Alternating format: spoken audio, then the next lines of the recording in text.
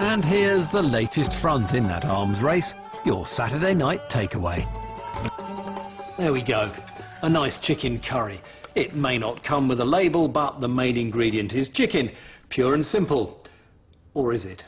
We've used the latest scientific techniques to uncover a startling story of what's really in some of our takeaway chicken.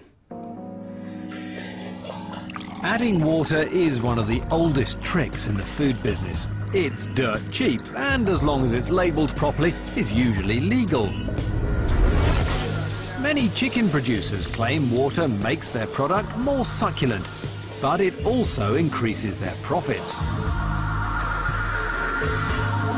In his role as head of food authenticity at the Food Standards Agency, Mark Woolfe watched as the industry devised ever more cunning ways of putting water into chicken. There are multi-needle injection machines which can actually double the size of a chicken breast in 40 seconds. That's extraordinary. It's an extraordinary, but product at the end of it is pretty awful actually. It's got no structure and people have described it as, as plastic chicken.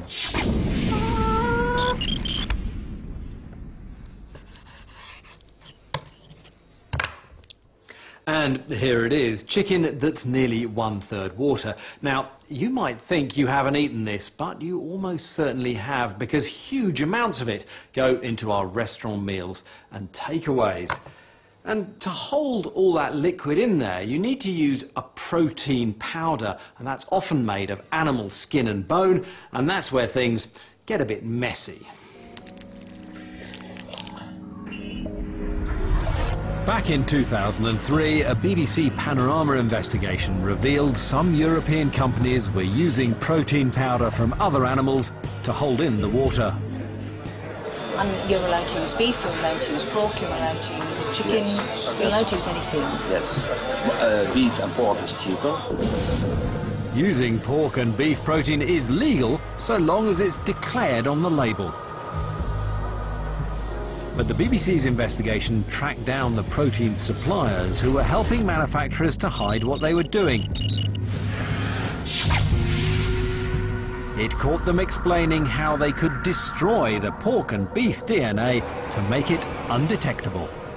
But we have uh, what we call PCR negative This is proteins, what we were interested in which in. no animal species are detectable. Well, that's but that's this not is my new. decision. This is a new. Relative product, yeah. No, no, it's uh, the product as such is already. But we that is what I meant with our special techniques. I see. We can take off the DNA.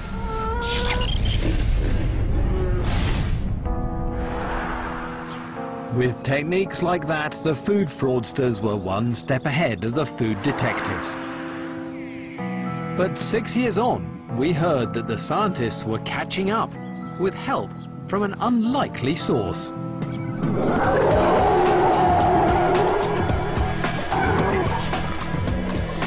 A brand new technique developed by archaeologists to help them unlock the secrets of prehistoric life.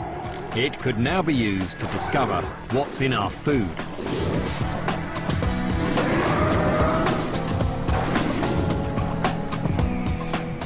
We decided to put the science to good use. We bought chicken breasts with added water from a number of wholesalers. The boxes said they only used chicken protein to hold in the water. But could we trust them?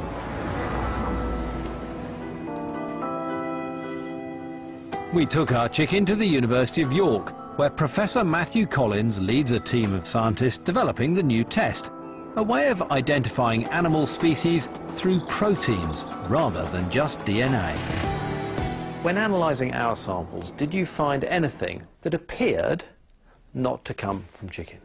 Yes, we've, we've got proteins in there which appear to be mammalian and not chicken. Is it possible to be any more precise about what kind of mammal they might have come from? That's very difficult at the moment, and that, this is the problem. Because we have insufficient numbers of animals in our database, we really can't be confident what they are. But how confident can you be that the materials in the samples that we gave you, some of it didn't come from chicken? I think we can be fairly confident it didn't come from chicken. So although our tests couldn't confirm exactly which animals were being used to make the protein, it clearly wasn't just chicken. We took our results to the two chicken companies involved, and one of them agreed to talk to us. Eurofoods is a big supplier of chicken to Indian restaurants with an annual turnover of 70 million pounds. Shaleem Hussain runs the company. We've tested some of your chicken breasts and the results indicate there is non-chicken animal protein in there. What do you say to that?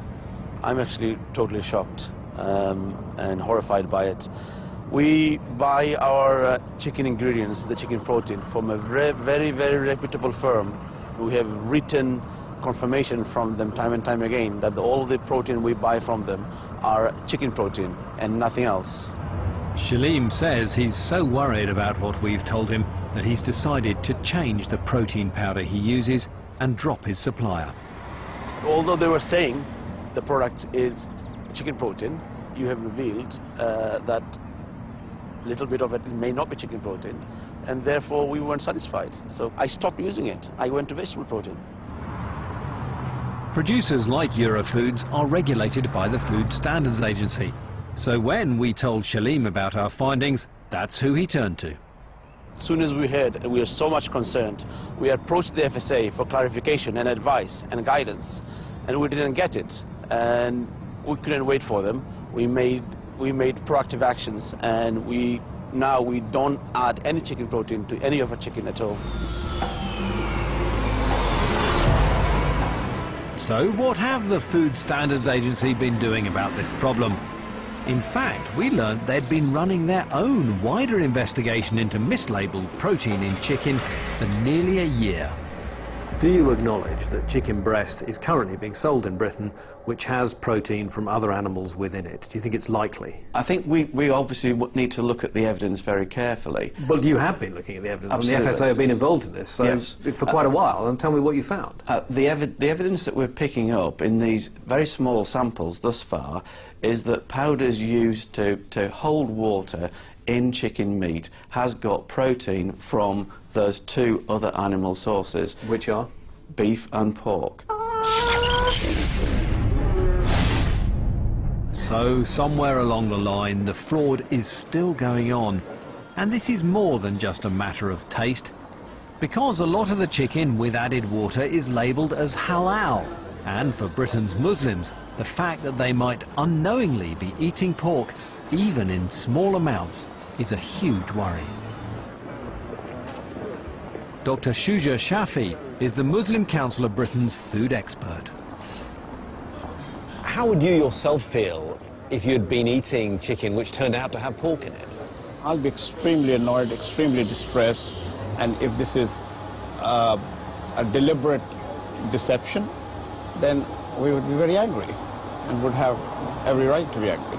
The Muslim community go to an extraordinary length of trouble to make sure that the products that they consume are free of ingredients uh, that are prohibited. So that's why we rely heavily on food labeling and to be reassured or to be told that those systems are in place and then find that that is in fact not the case is very annoying, very disturbing and would become extremely angry. Is it still the case that a year after you're alerted to it, British consumers are still eating chicken that may contain other animal protein, pork or beef? Our objective in, in setting standards for this and other types of food fraud is to ensure that we eliminate to the best extent possible. I appreciate it's your objective, but have you succeeded in making sure that it's not there? As, as each uh, individual case of food fraud emerges, and this is clearly one of those where authenticity is, is, the, is the problem, we develop new technologies and we do it as fast and as, as speedily as is possible to make sure that the science and evidence base gives us the opportunity to take out of the marketplace anything that doesn't conform to that labelling regulation. I think it's disgusting because they shouldn't be allowed to do that, should they? No, it's all wrong. Now, you knew that? Would you still Am I rapidly chicken? becoming a vegetarian here? It should be what it says should be in the meat. I think it's totally bad because in good faith you buy something for chicken. it's got pork and beef in. It's just, it's just not on. If it was in a chicken curry or a takeaway, I wouldn't be bothered. Wouldn't bother you? No, it's just meat. Not very ethical at all. You'd still eat it, wouldn't you? Easily pleased, wouldn't you? I would be concerned for people who would normally be able to eat chicken, but who, because of religious sensitivities, wouldn't be able to eat pork. The worry about this is maybe not about safety. It may be perfectly safe, but is it moral? Is it acceptable? And is it what consumers expect? Those are the questions. Definitely consumers will not expect when they buy a product that says it's chicken to find that actually it's got pork in it.